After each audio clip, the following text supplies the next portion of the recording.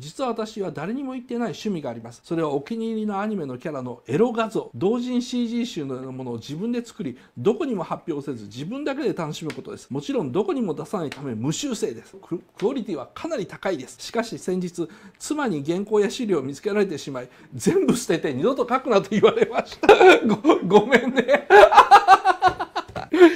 嫌なもん見つかったね。私はやめたくありません。どうしたらいいでしょうか。隠れて書けですよね。隠れて書くしか選択肢ないです。それはもう自分の魂を殺せってことですよね。だってもうそれが趣味なんですから、それが生きがいなんだから仕方がないです。で、これを妻に分かってもらう方法はないです。それを分かってくれる妻は妻ではなくてもう同居人です。妻は怒って当たり前ですから、こんな趣味は怒って当たり前です。